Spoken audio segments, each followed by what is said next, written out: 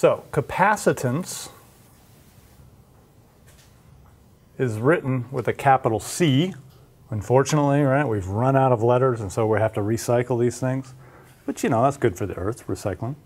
Capacitance C is the following. It's Q over V. Q is a measure of charge.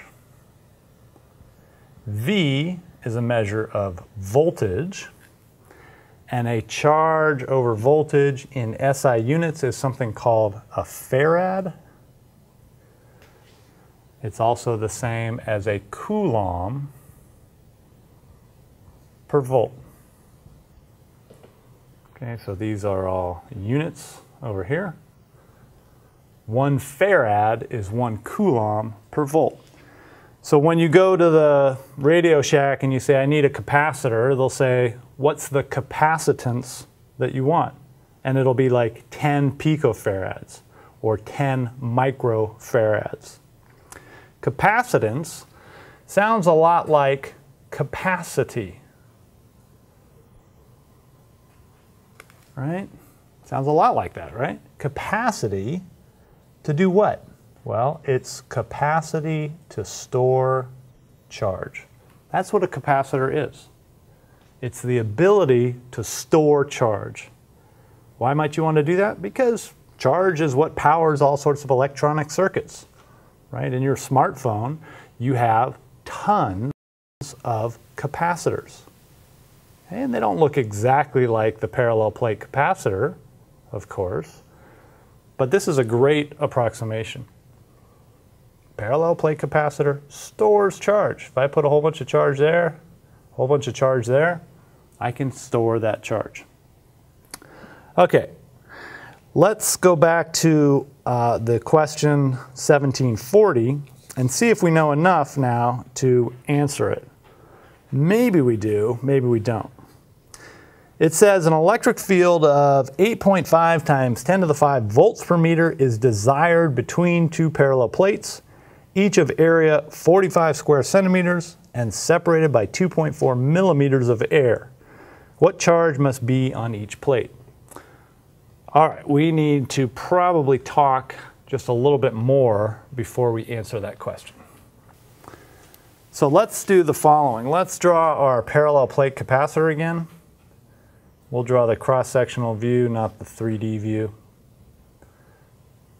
And let's do it like this. I have positives on the left, I have negatives on the right. There is therefore an electric field that is pointing from the positive to the negative. If I put a charge in there and it moves a distance, let's call it delta S, charge Q, what is, and let's call it Q naught, that's our test charge, what is the work that is done on it? Work W equals force times distance times the cosine of theta. Everything's in the same direction here, so it's just going to be force times distance, cosine of 0 degrees, just force times distance. The force on charge Q naught is Q naught times E. The distance that we're going to go we said is delta S. But we know something about potential and these quantities. Potential V is equal to the work over the charge. Specifically, delta V is the work over the charge. And so we get Q naught E delta S divided by Q naught. The Q naughts drop out and we get delta V equals E delta S. Good. This one has a high potential, this one has a low potential. The magnitude of the potential difference between those two is just E delta S. Don't worry about whether this should be a, plot, a plus or a minus. Go back to your picture to figure out which one should be which. All right, it seems like we might almost have what we need. But we need to remember what E is for the parallel plate capacitor. And what we said was E for the parallel plate capacitor is really Q, which is Q on the plates, plus Q on that one, minus Q on that one. Q times delta S, and then we had an epsilon naught A in the bottom.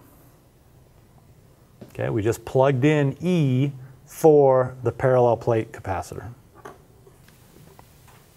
All right, let's write that up here. Delta V equals Q delta S over epsilon naught A.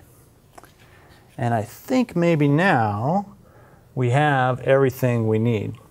We can also write this as E delta S. So the problem, 1740, says the following. It says, let E have a strength of 8.5 times 10 to the 5 volts per meter. It's desired between two parallel plates, each of area 45 square centimeters. and it's separated by 2.45 millimeters of air. That's going to be our delta S. 2.45 millimeters. And they want to know what charge must be on each plate.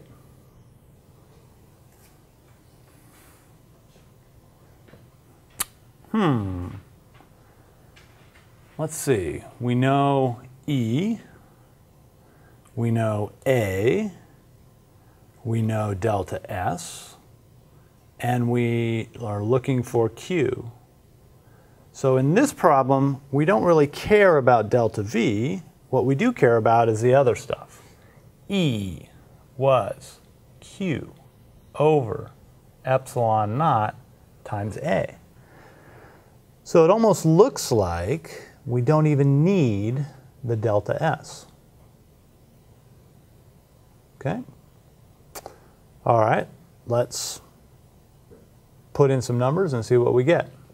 We've got Q that we want to solve for. So if I multiply across by epsilon naught times A times electric field, now I can plug in all those numbers. Epsilon naught is the permittivity of free space. That's 8.85 times 10 to the minus 12 in SI units. Area is 45 square centimeters. But centimeters is, of course, not SI units, so we have to convert to square meters. And the way you convert is you multiply by 1. And if I put 100 centimeters down in the denominator, and I put a meter in the numerator, that's the number one, but of course I have to square the whole thing. And then I've got E, which is already in SI units, 8.5 times 10 to the 5 volts per meter. And that should do it. We can run these numbers and see what we get and I'll approximate it here if you guys want to punch it in your calculator. So let's see what we got. We got, this is a, a 9, that's a 45, that's a, another 9 roughly, and then we've got a 10 to the minus 12, and we've got a 10 to the 5, and down in the bottom, we've got a 100 squared, which is a 10 to the 4. So, let's see. 9 times 9 is 81. 80 times 50 is 400. 4,000, sorry. So that we get a 4 times 10 to the 3 up there. And then we've got a 10 to the minus 12 and a 10 to the 5, so that's a 10 to the minus 7. We're going to divide by a 10 to the 4. And so I'm going to say that Q has got to be approximately 4 times 10 to the, I get a minus 4 up there. I have a 4 right there, and so that's going to be a 10 to the minus 8. Units are coulombs. Did anybody punch in your calculator and tell me uh, how far off I am? Um, I got three point four times ten to the eight. Okay, so we were off a little bit. 3.4 times 10 to the minus 8. Is that what you got? Coulombs. Does anybody else concur on that number? Yeah. That's what you got?